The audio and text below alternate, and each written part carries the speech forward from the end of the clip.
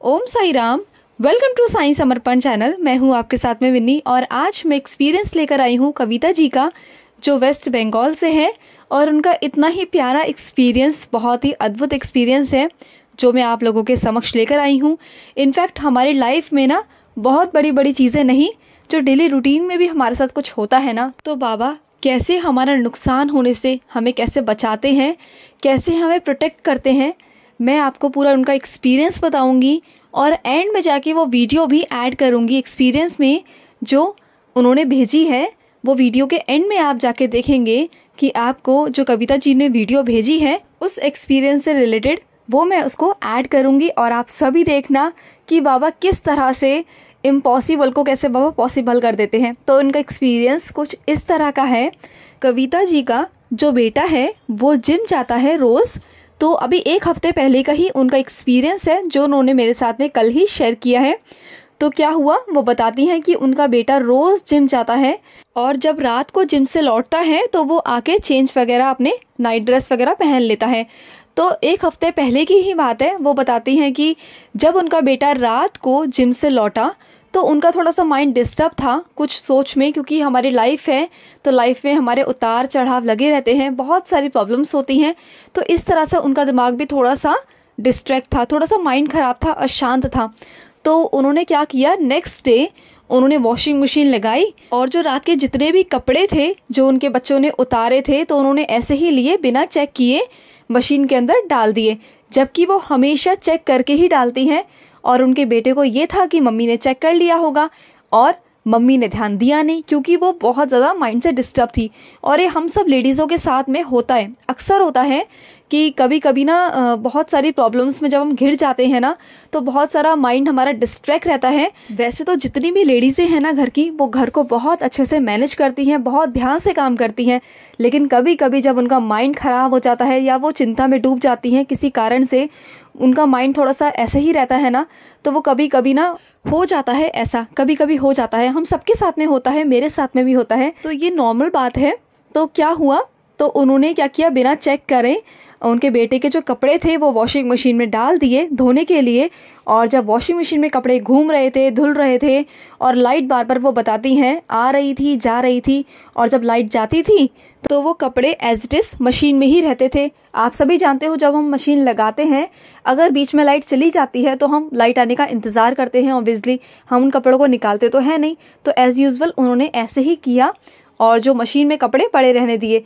जब लाइट आई फिर उन्होंने मशीन घुमा दी, फिर लाइट चली गई। फिर लाइट आई, फिर उन्होंने मशीन घुमा दी और ऐसे करके उन्हें उस दिन बहुत टाइम लग गया कपड़े धोने में। और जो उनके बेटे के कपड़े थे, वो वॉशिंग मशीन के अंदर ही थे और वो काफ़ी टाइम तक घूमते रहे और धुलते रहे। फिर जब उन्होंने कपड़े निकाले और जब वो सुखाने के लिए जा रही थी ड्राई कर कर सुखाने जा रही थी तो उन्होंने देखा कि उनकी शायद पॉकेट में ना कोई चीज़ है। तो उन्होंने ऐसे हाथ लगाया, हाथ लगाकर देखा कि उसके अंदर ईयरबड्स थे।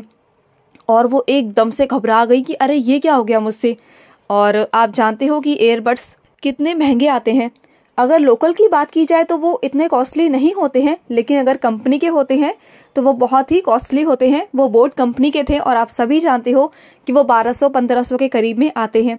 और एक मिडिल क्लास की फैमिली जो होती है, वो इतना जल्दी से हर चीज़ अफोर्ड नहीं कर पाती।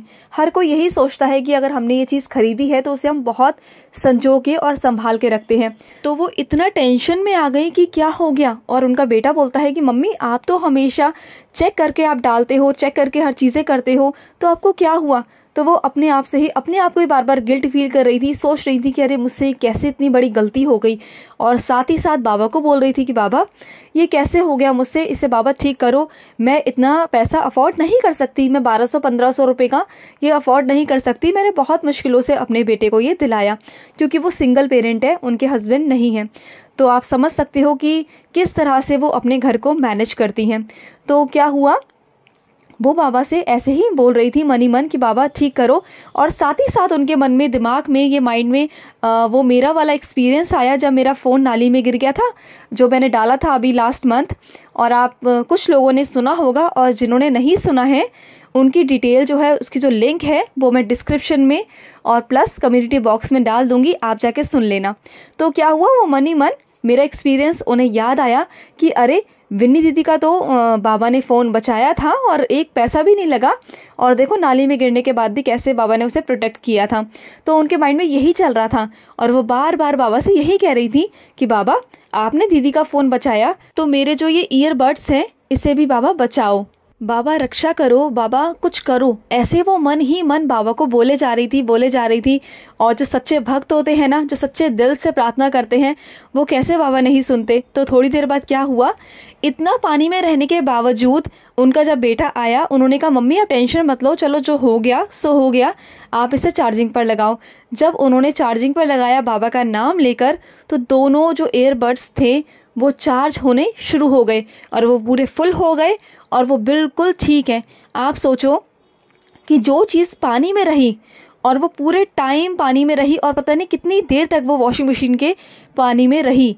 क्योंकि लाइट बार बार आ रही थी, जा रही थी, परेशान कर रही थी, उसके बावजूद भी उसका इतना सा भी नुकसान नहीं हुआ जैसे वो एयरबड्स पहले थे, वो आज भी वैसे ही काम कर रहे हैं। और उसकी जो वीडियो है, वो मैं अब एक्सपीरियंस के लास्ट में डालूँगी, जो कविता जी ने मुझे भेजी है और आप सभी देखना, आप सभी देखो कि बाबा किस तरह से लीला करते हैं, किस तरह से बाबा चमत्कार करते हैं और बहुत ही प्यारा एक्सपीरियंस मुझे लगा उनका। और हम सब जो अनुभव डालते हैं ना, जो हमेशा मैं कहती हूँ कि आप अनुभव डालो तो देखिए, जैसे कि उन्हें मेरा एक्सपीरियंस याद आया और उन्होंने बाबा से कहा। तो इसी तरीके से आप सभी के एक्सपीरियंस दूसरों को हमेशा हिम्मत देते हैं मोटिवेट करते हैं। तो इसलिए मैं हमेशा कहती हूँ कि अपने एक्सपीरियंस डालिए। कुछ वक्त निकालिए, कुछ दस मिनट निकालिए अपने ज़िंदगी के, अपने कुछ पल के।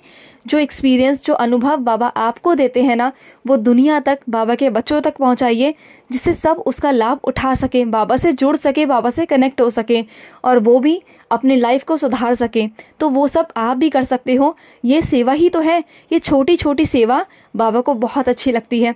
तो मैं उनकी जो वीडियो है कविता जी की, मैं ऐड करने जा रही हूँ और आप सभी देखना और इसी के साथ मैं लूँगी समाप्ति। अगर आपके कोई एक्सपीरियंस है, आपके कोई अनुभव है तो आप हमारे साथ शेयर कर सकते हैं। हमारे नंबर पर आप हमें कॉल भी कर सकते हो या आप हमें व्हाट्सअप भी कर सकते हैं। तो चलिए, मिलते हैं नेक्स्ट वीडियो में। तब तक के लिए मैं लूँगी समाप्ति। ओम साई राम जय साई राम